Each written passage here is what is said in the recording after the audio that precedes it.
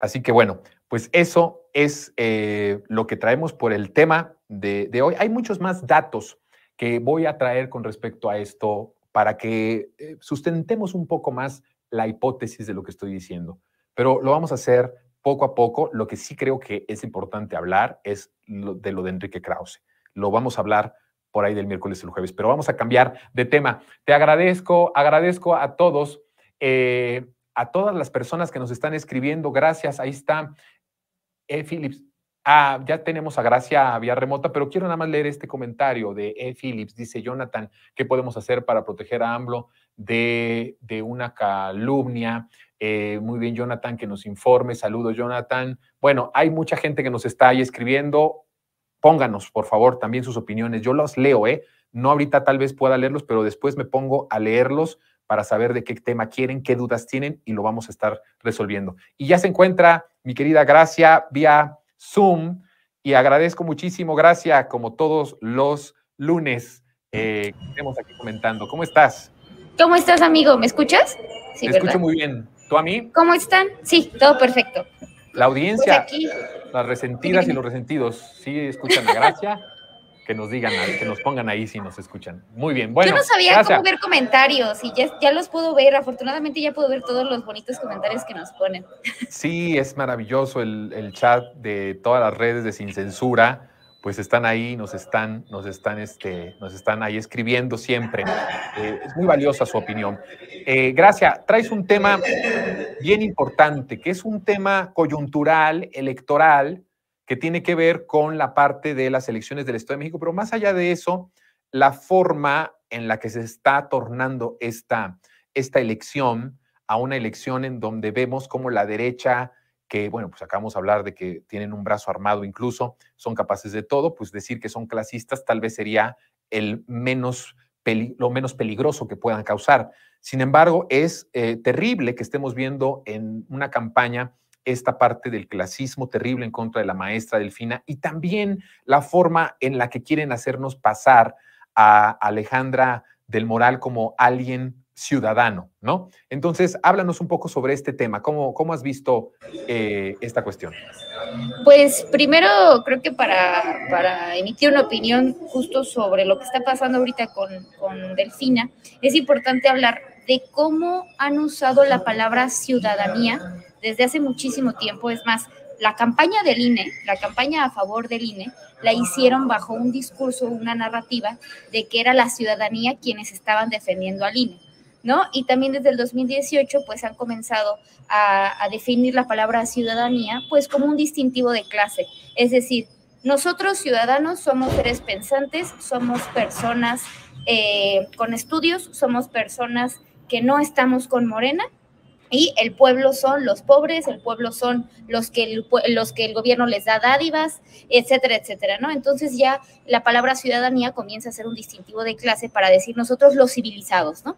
Entonces cuando hablamos de eso, eh, pues llegamos al punto en donde ya en una candidatura del Estado de México, de un partido que lleva más de, creo que eran 45 años en el Estado de México, o si no es que más, 45 años en el Estado de México, quiera promocionar a su candidata como ciudadana, bajo que el argumento de que son distintas organizaciones civiles que cabe recalcar que son de Claudio X González, las que están promocionándola como la candidata ciudadana. Entonces, creo que desde ahí podemos partir para hacer un análisis sobre esta, este clasismo que viene, pues evidentemente hacia Delfina.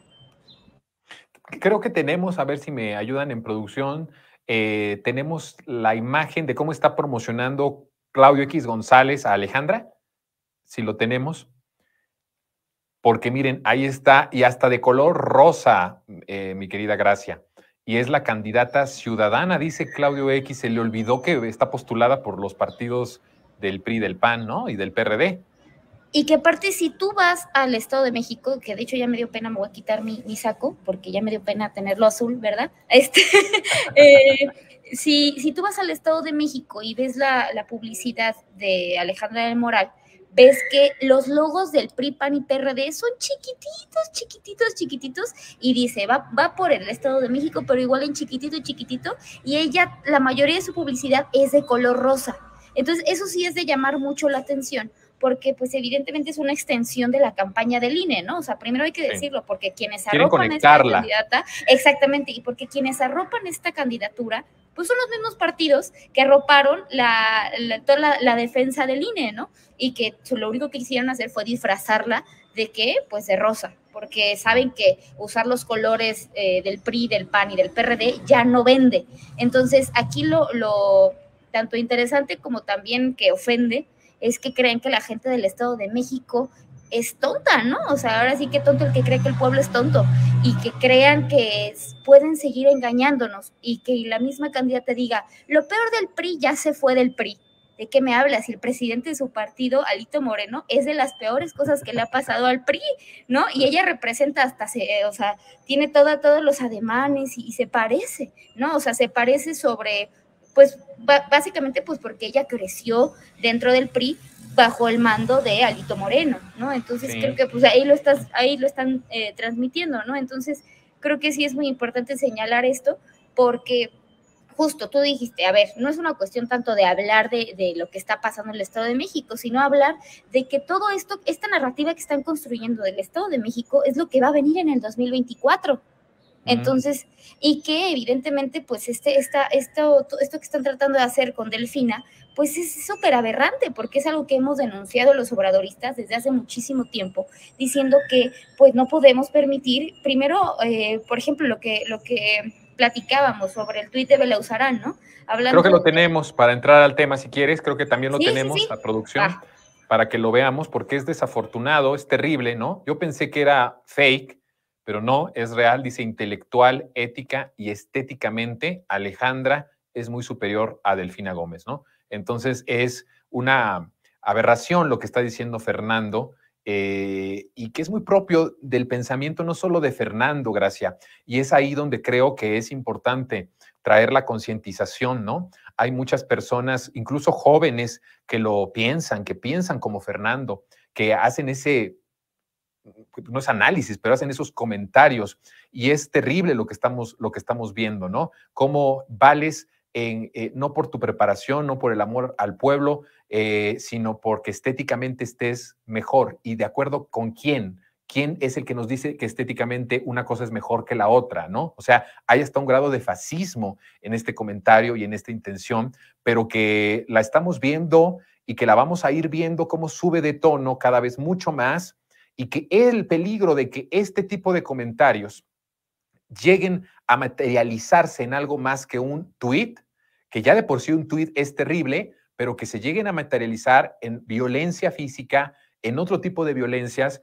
y que desde la derecha se esté implementando una campaña en donde una tiene que ser gobernadora porque estéticamente, según él, es mejor, ¿no? No vale el proyecto, no vale la historia, no vale absolutamente nada, vale lo estético. Totalmente, y que inclusive si tú, o sea, si lo que yo he leído de los, de los comentarios que le hacen a Fernando Beleuzarán, veo tres cosas. Primero que también afortunadamente hasta personas de la oposición le han dicho como, oye, qué desafortunado comentario, no, no somos iguales y todo ese tipo de cosas. Que bueno, también denunciarlo es para decir, oye, para que mínimo él piense, ¿no? Que lo que dijo está mal, porque el hecho de que tú, o sea, estaría mal inclusive si Horacio Duarte lo escribiera, ¿no? O sea, Horacio Duarte que está, que está con la, maestra, o inclusive estaría mal que yo lo escribiera, porque eso no está bien, eso no, no tiene absolutamente nada que ver con que ella sea del PRI, con que alguien sea de Morena, con que alguien sea del PAN, simplemente eso recae en una misoginia profunda, ¿no? O sea, eso es la segunda cosa el decir eso, o sea, primero él se excusaba bajo el argumento de que él se refería a la estética de la campaña, es decir, los promocionales, es, y eso también, y justo lo que dices, ¿no? ¿Quién, quién puede decir o quién basa en, o sea, su opinión o, en algo que, ¿quién, quién define qué es lo estético? ¿No? O sea, cuando realmente eso se basa justamente pues en una cuestión muy clasista y que no tiene absolutamente nada que ver inclusive con el candidato o candidata, ¿no? Y por otra parte, si dijeras, bueno, ok, eh, no quisiste decir eso, pero si sí lo quisiste decir, entonces es una misoginia impresionante, porque entonces estás hablando de una estética personal de una mujer y eso recae totalmente en violencia política en razón de género. ¿Por qué? Porque nadie tendría por qué hablar de, la apariencia ni de la maestra, ni inclusive de Alejandra del Moral, ¿no? Claro, tampoco. Entonces yo creo que eso, o sea, justo creo que cada vez se van a ir intensificando más los comentarios con la maestra y en el próximo debate que va a haber, que creo que es el, este miércoles, ¿no? Creo que es este miércoles el debate. Este, pues esperamos también que, que no existan comentarios clasistas como existieron en la campaña del 2017 para la maestra, porque hace rato estaba justo, y no, no quiero que la audiencia me, me diga algo malo, pero hace rato que venía manejando, este, el primer, el, o sea, cuando prendí la radio, la primera que escuché fue Aristegui, ¿no? Por eso digo, no, no me, no me, no me digan nada malo. Pero eh, escuché, o sea, de hecho hasta después me di cuenta que era Aristegui porque estaba hablando alguien sobre el debate que viene el miércoles, ¿no? Y estaba diciendo, que hasta yo dije, ah, ya va a ser el debate, ¿no? Estaba diciendo, no, es que eh, el equipo de Alejandra del Moral le está apostando mucho al debate porque saben que la maestra no tiene capacidad para responder hábilmente, y yo estaba manejando y iba así como, ¿qué estoy, qué, qué, estoy escuchando? Porque es exactamente lo mismo que el tuit de Fernando Belauzarán, ¿no? Sí, o sea, ¿en, qué, ¿en qué se basan las capacidades o para decir que la maestra no tiene la agilidad para poder responder?